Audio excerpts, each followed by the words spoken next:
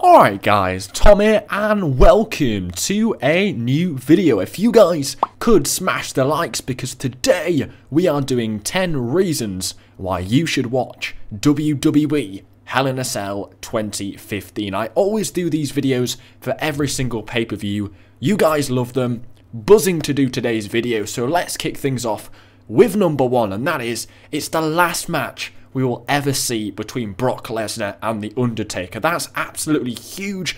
You've got to watch Hell in a Cell. It's the last match between Lesnar and Undertaker. So much history, it's going to be a big one.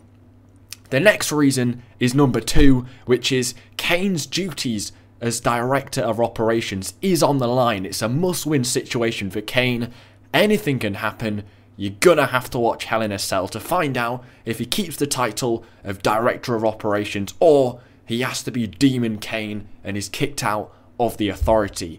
Number three is John Cena is having a US Open Challenge live on the pay-per-view. How big is that? Who is going to accept it? Potentially it could be anybody on the roster. Tyler Breeze could be a potential opponent. Who knows? It's all on the line. It's completely random. It's going to be huge, whoever it is, so you've got to have to watch Hell in a Cell to find out who's going to accept the challenge.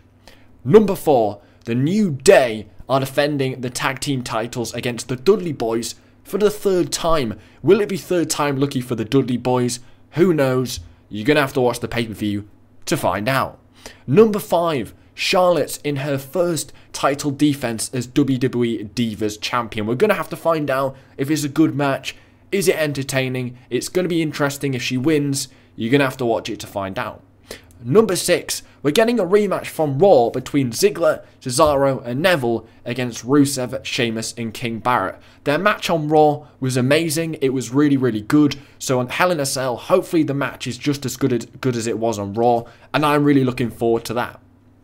Number 7 is, there's two Hell in a Cell matches. That is absolutely huge, it only happens once every year, it's entertaining, it's great. You're going to have to watch Hell in a Cell to watch these two mega Hell in a Cell matches. Number 8 is John Cena is scheduled to have a break after Hell in a Cell, so it's really likely that whoever accepts the US Open Challenge at the pay-per-view is going to become the new United States Champion. So you're going to have to watch Hell in a Cell to find out who wins the US title. Number 9, will Roman Reigns, after months and months, finally get his revenge on Bray Wyatt for costing him the Money in the Bank briefcase? And number 10 is that is Undertaker finally, after almost two years, going to get payback on Brock Lesnar for ending the streak, or is the Beast's reign going to carry on over The Undertaker forever? So there are my 10 reasons why you should watch Hell in a Cell, guys.